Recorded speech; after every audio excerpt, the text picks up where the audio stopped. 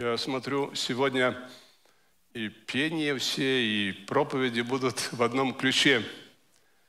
А, брат говорил о корабле, а я буду говорить о лодке. И будет дополнение или как-то продление, продление этой проповеди.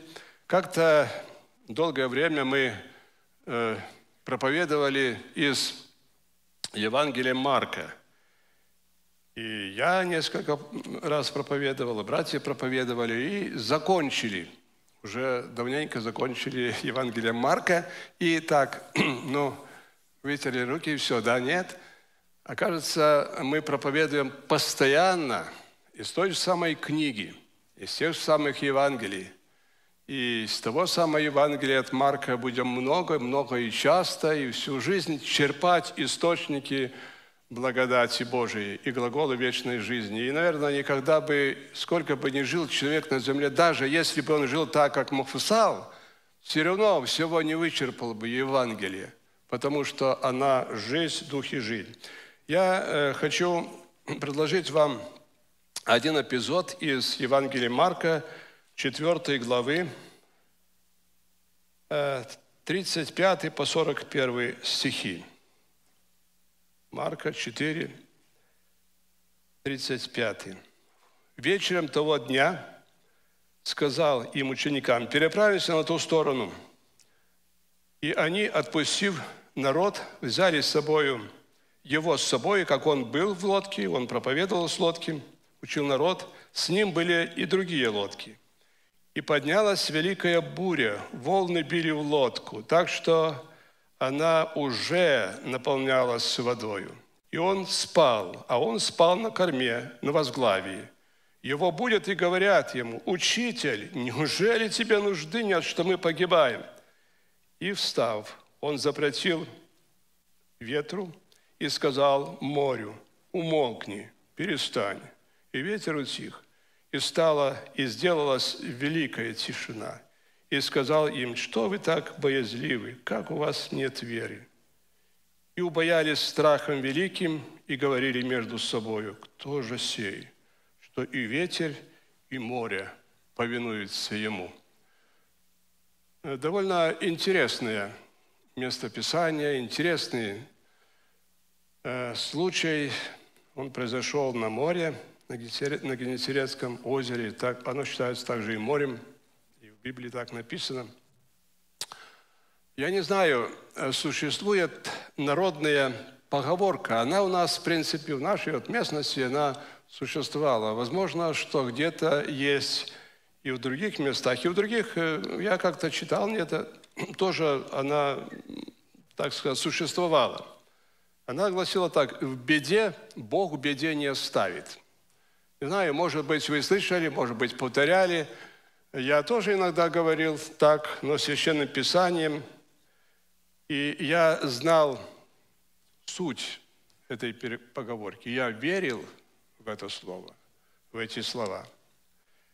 Но, друзья, один, одно дело, когда мы говорим, изрекаем истину, а другое дело – когда мы попадаем сами в беду. И тогда уповаем ли мы на Бога, или же мы, ну, как эти ученики. И тогда истина, о которой мы говорили, она как-то, но не созвучна с нашим поведением бывает. Одно дело изрека, другое дело доверяться истину всем сердцем, всей душой, всей верой нашей. Независимо, то ли это гладь на море, тишина, то ли это буря, то ли богатство, то ли бедность, то ли болезнь, то ли здравие, то ли богатство, то ли бедность, я уже сказал. Но Бог всегда один и тот же. Несмотря на то, что когда-то он был с учениками, ученики видели, очень близко были с ним, им как-то было проще, может быть, просить у него защиты – а мы на далеком расстоянии, трудно сказать, сколько миль.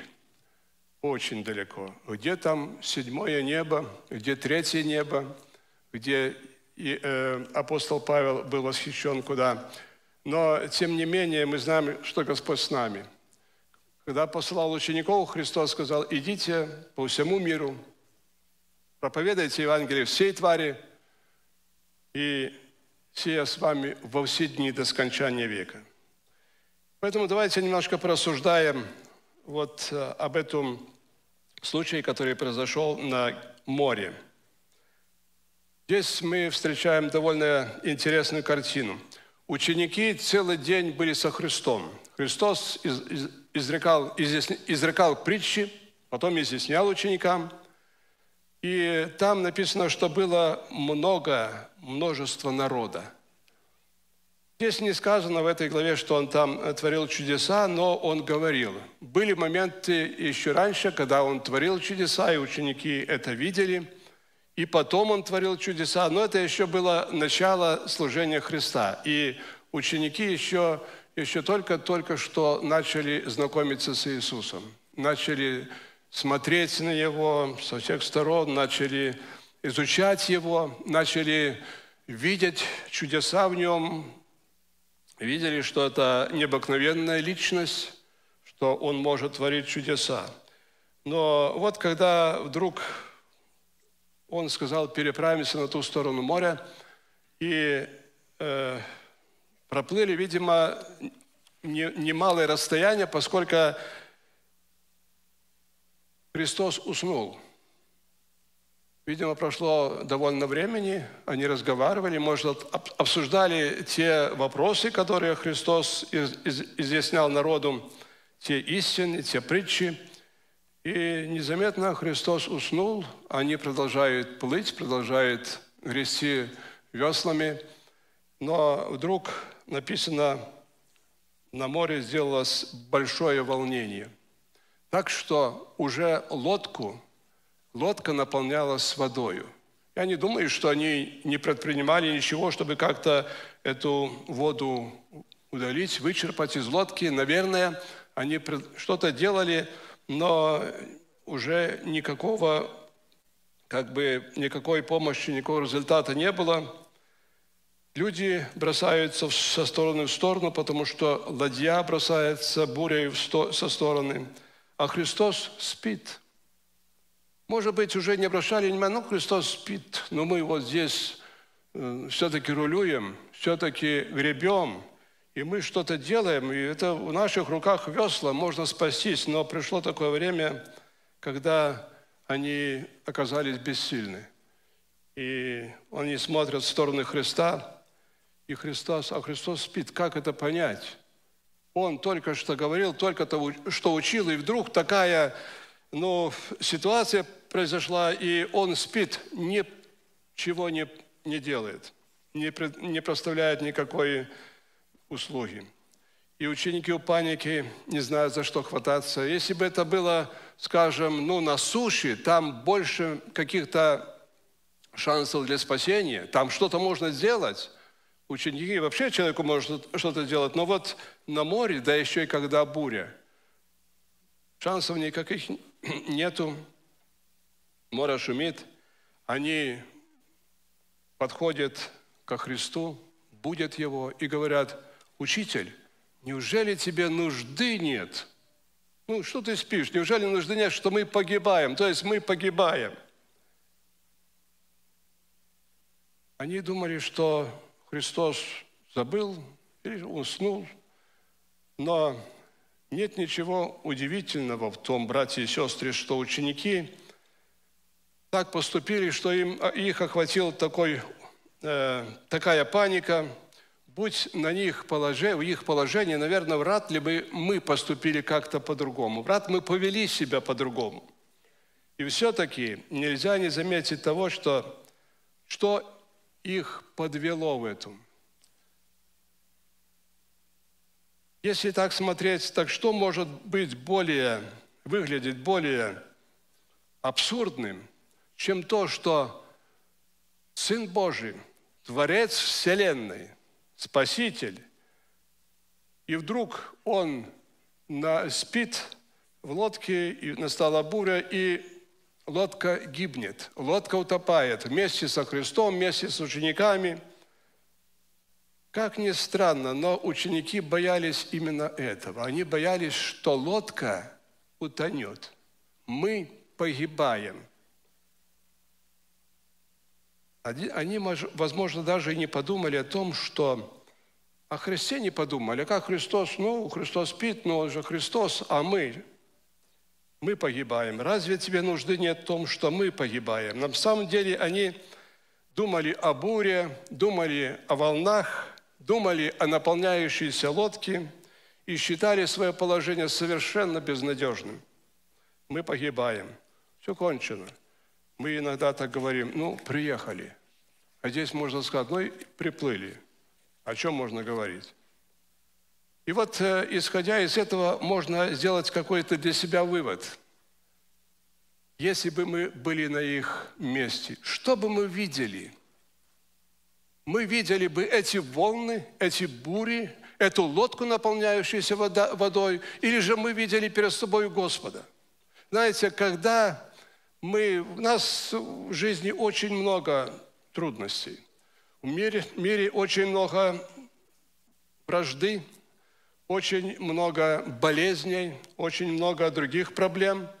Весь мир в беспокойстве, он бушует, как житейское море.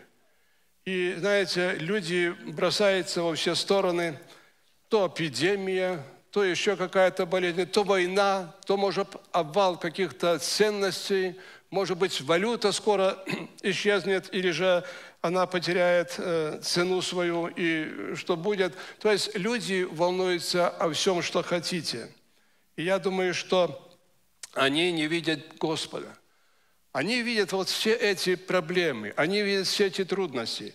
Мы тоже, братья и сестры, мы тоже люди – и мы тоже нуждаемся и тоже пользуемся всем тем и валютой, пользуемся и здоровьем, которое у нас есть, пользуемся и благословением, когда у нас дождик, когда у нас солнышко светит. А вот когда нету дождя и леса горят, когда дышать тяжело. И вот э, мы это тоже переживаем. Как мы видим эти проблемы? Мы что, видим только вот это или мы что-то другое видим?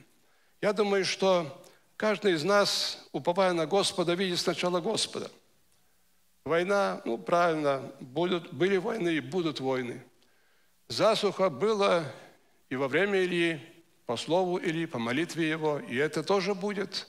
Мы переживаем, и отцы наши переживали, но мы видим Господа, что все проходит не отсюда, а все проходит оттуда, через Господа. То, что Господь допускает, то и будет – то, что Господь не допустит, то и не будет. Если мы обращаемся к Господу, так мы видим Господа сначала, в центре Господа, а все остальное, знаете, мы не обращаем внимания на эти обстоятельства внешние. Потому что мы уповаем на Господа, мы знаем, что Он вершит судьбу этого мира. Вера – огромная сила. Она проставляет Богу возможность творить чудеса в то время как неверие является основной причиной отсутствия чудес. Неверие – нет чудес. Христос всегда творил чудеса там, где присутствовала вера. И вот э, Евангелие Марка во второй главе, э, я не буду зачитывать, но там такой тоже интересный эпизод. Четверо принесли видимо, своего друга, товарища или родного, близкого принесли ко Христу, зная, что Христос уже исцелял, творил чудеса, принесли, он был расслабленный, этот человек. Они принесли четверо, войти не могли в дом, потому что много людей. Они, имея веру, предприняли довольно усиленный метод, чтобы подойти ко Христу. Они разобрали кровлю крыши, спустили к ногам Христа – и Христос, написано, видя веру их, сказал расслабленному, возьми постель твою и иди в дом твой. И он встал, взял постель и пошел в дом свой. То есть вера – это могущая сила, когда Госп... посредством которой Бог может творить чудеса. Там, где, знаете, человеку невозможно. Невозможно так исцелить, как исцелил Христос. Невозможно еще успокоить бурю и что-то другое – когда, знаете, еще один момент в Писании, когда женщина, страдающая 12 лет кровотечением, она все истратила. Она делала все возможности. 12 лет изо дня в день она нуждалась в исцелении. И потеряла надежду на врачей, денег не стало. И увидела Христа. Идет Христос. И она сказала, если я дотронусь хотя до краю одежды, выздоровлю. Она это сделала. Хотя это было, может, нарушением какого-то покоя, покоя, потому что Христос сказал, кто прикоснулся ко мне? Вера, она творит чудеса. Вера не просто вера, какие-то идеи, философские измышления, а вера в Бога, вера в Иисуса Христа, Спасителя нашего. Матфея 13 глава 58 стих сказано, значит, о том, что Христос в своем Отечестве, в Назарете, когда Он возвратился, не мог сотворить многих чудес. Оказалось бы, почему? По неверию их. Не было там веры. Оказалось бы, должен в своем Отечестве, там, где он рос, где он воспитывался, где он был подростком, взрослым стал – и люди смотрели, это, это необыкновенная семья, это необыкновенный мальчик растет. И потом бы показать силу и могущество Бога.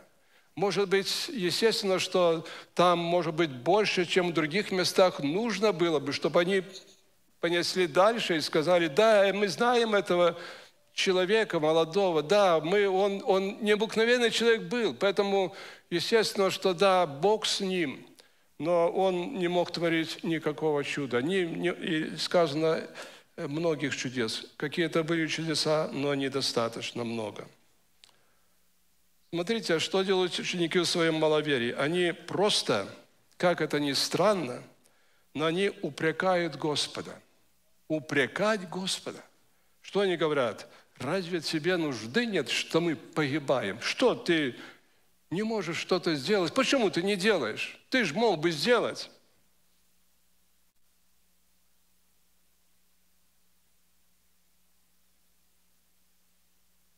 Да, мы боимся, так, мы трудимся, мы, мы хотим спасти, а ты, а ты ничего не делаешь.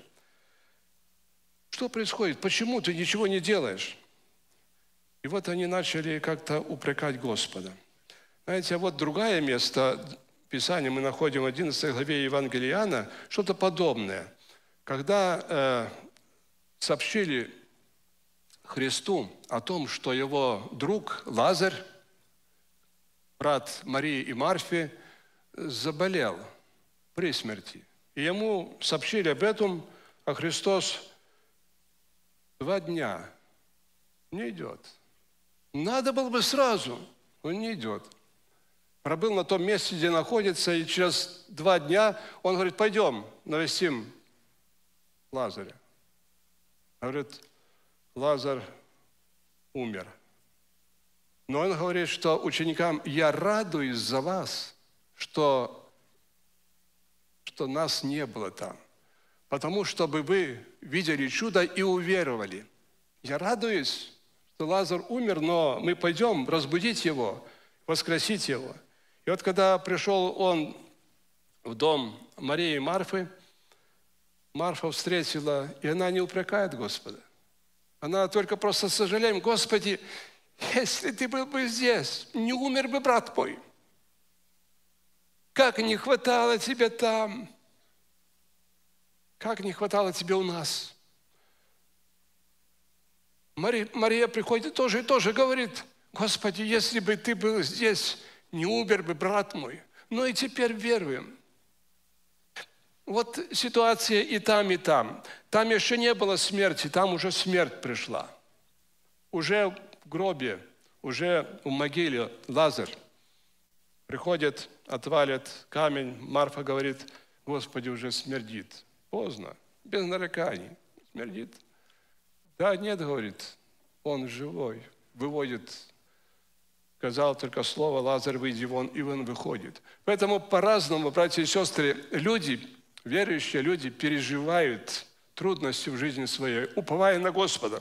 Одни вот с таким упроком, как ученики, по началу своего служения, э, хождения э, с Господом, а другие так, как Мария и Марфа. На самом деле это кажется чересчур дерзкий подход к тому, сказать так Христу, «Э, тебе нужды нет. Разве, братья и сестры, вот это поведение не указывает на кого-либо из нас, на меня лично? Я тоже могу так сказать.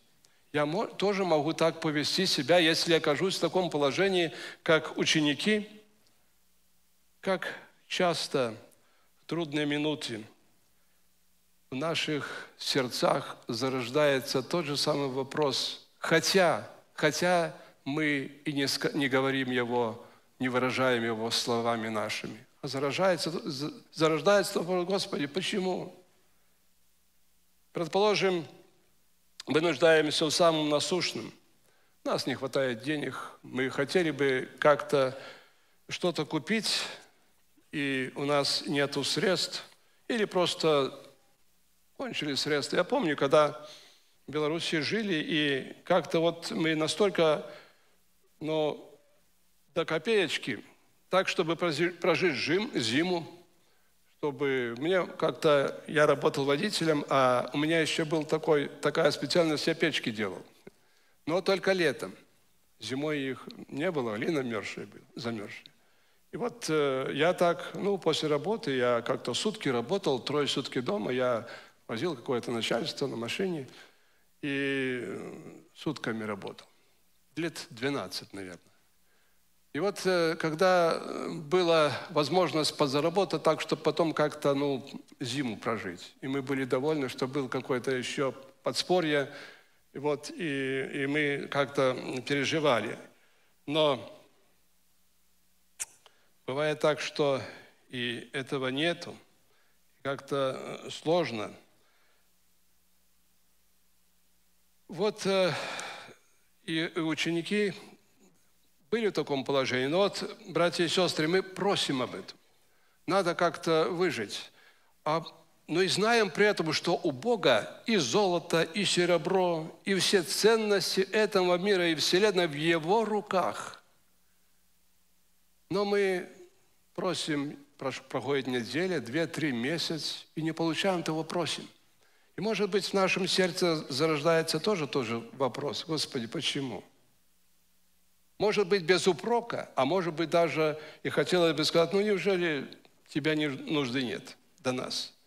Или, может быть, предположим, мы, наш близкий сын или дочь, или мы сами, отец или мать, или мы сами э, нуждаемся в помощи мы болеем, или же дети наши болеют, лежат на, на, на постели, жестоко страдают, и мы страдаем тоже с ними, и знаем, что достаточно только одного слова Христа. Господи, скажи только слово, и выздоровеет сын мой, выздоровеет дочь моя, выздоровеет отец мой или мать, или я сам. И проходит время, мы молимся и не получаем ответа.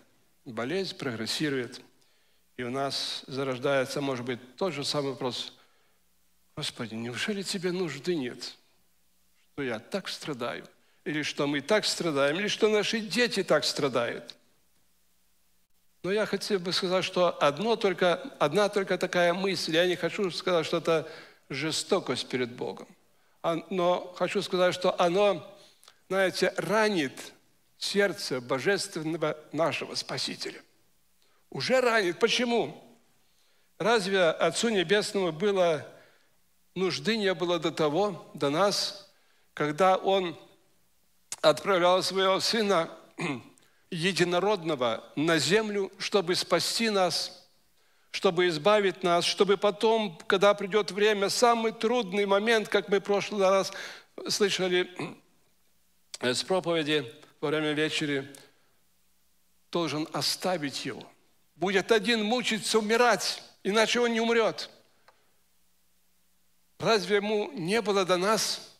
Разве не до нас, братья и сестры, было Христу, который в жестокой агонии на кресте, на гвоздях, умирая, произнес слово «О, Боже мой, Боже мой, для чего ты меня оставил?» Но Он, умирая, спасал нас, чтобы избавить нас от вечного ада, от вечной гибели, от вечной муки. Так почему же иногда мы как-то подаемся, может быть, такому, знаете, я бы сказал, может быть, греху, как-то думать о Боге так, как думали в свое, в свое время ученики, забывая о том, что само испытание веры нашей, оно гораздо драгоценнее золота, серебра и всех ценностей этих земных. Вот то испытание, которого мы хотим избавиться от него, и, может быть, в ужасе хотим отмахнуться от него рук, всеми руками, оно дороже всех сокровищ земных, всех ценностей, которые мы хотели получить. Все ценности земные, они исчезают на этой земле, они не нужны будут в вечности, а вот вера открывает нам небеса. Апостол Петр в первом послании, в первой главе, 6-7 стихи говорит, «О сем радуйтесь, поскорбевшие теперь немного, если нужно, ну, если нужно, от различных искушений, дабы испытанная вера ваша оказалась драгоценнее гибнущего, хотя и огнем испытываемого золота, по хвале и чести и славе в явлении Иисуса Христа». Знаете, за верность, за упование на Господа мы получим большую награду пришествии Господа нашего Иисуса Христа. Это награда, похвала, честь и слава. Дабы испытанная вера ваша оказала драгоценнее гибнущего, хотя и огнем испытываемого золота к похвале и чести и славе в явлении Господа нашего Иисуса Христа.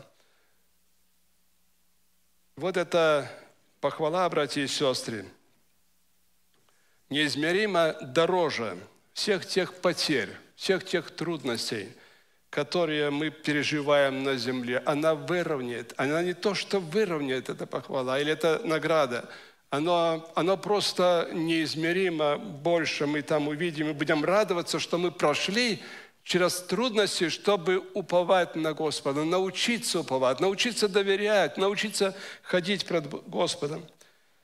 Христос с нами в нашей ладье. Солнечный день, погожий день, бурное время, когда войны проходят, когда эпидемии проходят, когда болезни, когда гонения проходят, когда штормы проходят, когда ураганы сносят все на своем пути. Господь с нами в нашей ладье, и нам не, не, нечего бояться, нам надо только держаться, веруя за Него и уповая на Него, прославлять Господа. Он сказал, что даже, когда мы читаем Матфея 10 главу, 30 стих, что даже все волосы ваши на голове сочтены. Когда ученикам утверждал своих учеников, я думаю, как, как это так, столько много волос, вроде, ну, у меня не так-то, ну, в общем-то, волос много. Э, и как это так, что у Бога все волосы сочтены, и зачем это надо? Ну, он даже сказал об этом. Когда Иисус Христос был на земле в теле человека, он не переставал быть Богом. Он был и Бог, и человек. Вот сочетание Бога и человека в Иисусе Христе восхищает нас. Как Он так? Вот, но когда ученики приступили к Иисусу и сказали, тебе, ну вот мы бедствуем, мы погибаем, и Христос тут же поднялся сна, свойственного человеку сна, и приступает к свойственной деятельности, к деятельности, свойственной Богу. Так вот быстро. Спать хотел, потому что устал от, труд, от, земного, от труда зем, э, дневного. Поднялся и начал делать то, что невозможно человеку. Начал успокаивать буру. Как Бог, он поднялся со своей постели, со своего ложа, как Господь начал словом успокаивать бурю. Вот так он такой тогда был, такой, братья и сестры, и сегодня.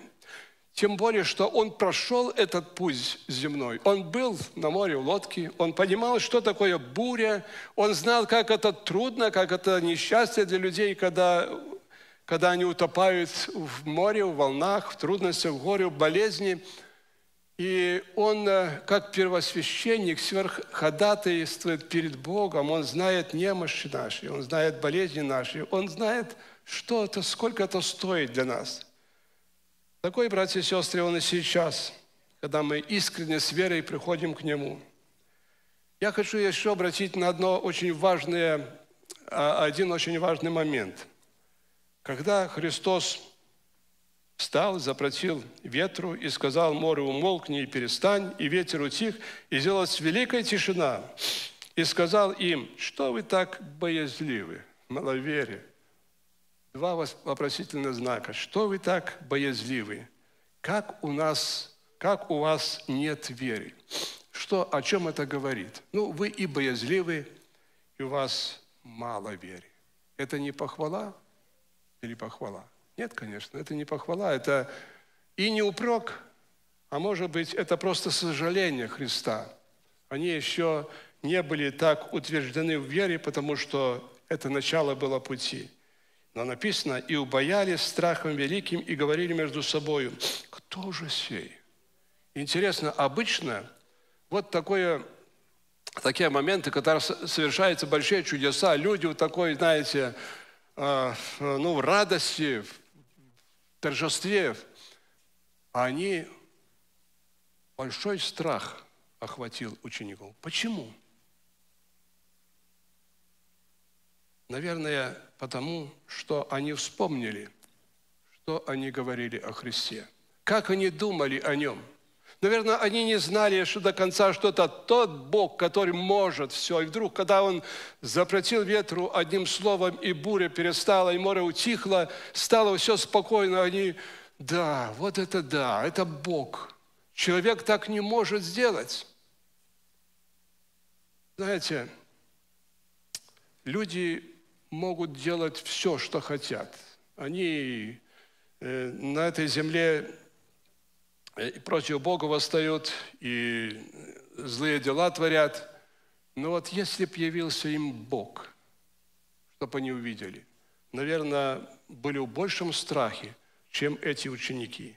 Когда, и, когда Иоанн Богослов был на острове Патмос, и он увидел Христа, облеченного славу, это в первой главе написано, ну, в принципе, он на земле видел Христа – видел и после воскресения, но, человек, но Христос явился в человеческом плоти. А там увидел в славе Бога, настоящего Бога.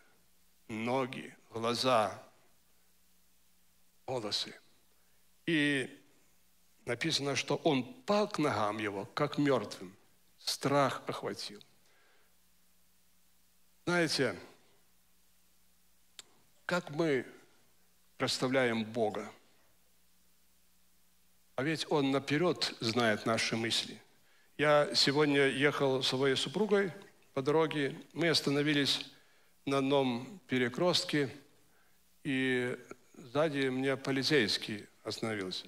Я, да, я сразу думаю, повернет он туда, куда я или нет. Ну, повернул туда, куда я.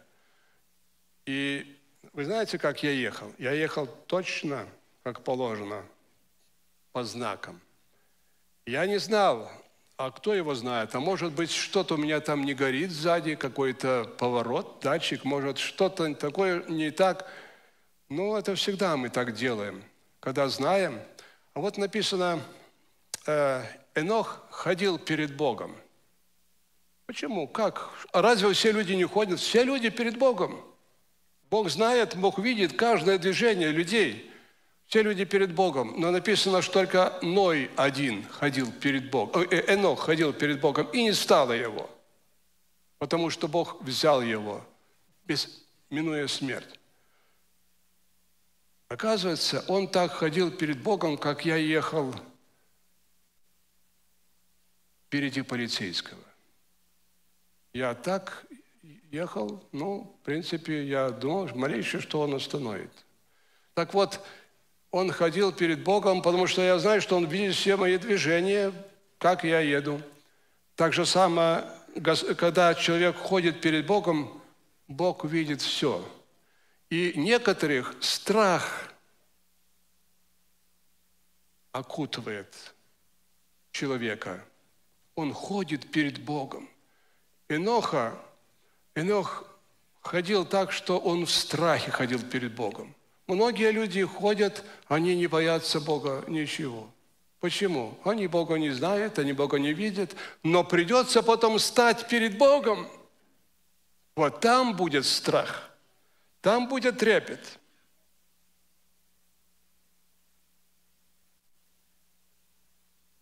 Я хочу прочитать несколько мест Писания, которые говорят Евреям 10 глава 30-31 стих, Евреям 10, 30, 31. «Мы знаем того, кто сказал, у меня отмщение, я воздам, говорит Господь. И еще Господь будет судить народ свой, страшно упасть в руки Бога живого. Страшно упасть в руки. Ученики испугались, потому что они что-то, а у них нет веры достаточно. Они усомнились, они упрекали Господа, и страшно тогда стало им, что они стали перед настоящим Богом. Второзаконие, 7 глава, 21 стих. Когда Моисей повторяет закон, закон и говорит Израилю, что нужно будет войти в обетованную землю, будут там враги, но не бойтесь. Он так говорит, не страшитесь их, ибо Господь Бог твой среди тебя, Господь говорит, Бог великий и страшный. Бог великий и страшный. И, конечно, братья и сестры, Господь э, ну, научил учеников – утвердил учеников, апостолов. Он наперед, знаете, наперед знал, что эти люди должны быть такими, должны быть апостолами. Он избрал их, но нужно было им пройти вот через это все, утвердиться, утвердиться в Господе, утвердиться в вере. И они до нас донесли Слово. И все это записали, что было, и как они проживали, как они проходили – но я хочу сказать, братья и сестры, что мы тоже с вами, Господь каждого из нас видит наперед, знает наше будущее и знает и хочет для нас будущего хорошего, но в то же время э, проводит нас через это все и хочет, чтобы мы, как и ученики, потом оставили после себя, если будет еще жизнь, и детям, и внукам, и наследникам нашим, чтобы ну, веру в Господа – чтобы они видели, что мы ходили перед Богом, как Анох ходил, ходили перед Богом со страхом и со страхом отошли к Господу, потому что э, закончилась наша эта земная жизнь.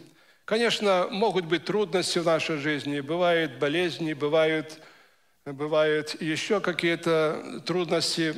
Бывает так, что э, образовалась семья, и в семье буря, в семье беда. Муж не понимает жены, жена не понимает мужа, и, и, и трудно, и проблема, и трагедия. Но это надо тоже пережить. Пережить упованием на Господа. Решить этот вопрос на земле. Там будет поздно. Поэтому великая благодарность Господу за то, что мы ну, знаем Господа, что мы спасены им. Великая благодарность Господа, что Он проводит нас когда видит, что у нас не хватает упования и веры, Он допускает наши жизни. И, может быть, и эти страдания, и эти трудности, они драгоценнее гибнущего, хотя и огнем, и огнем испытываемого золота. Для нас мы не понимаем, но это дорого, потому что когда Господь проводит нас через испытания, мы очищаемся, мы усовершенствуемся в вере, уповании на Господа. Поэтому давайте поблагодарим Господа за эти пути, и пусть Господь благословит и дальше нас, что мы упование, мы и дети наши, чтобы наше упование, оно отразилось наследниках наших, да прославится Господь наш. Аминь. Помолимся.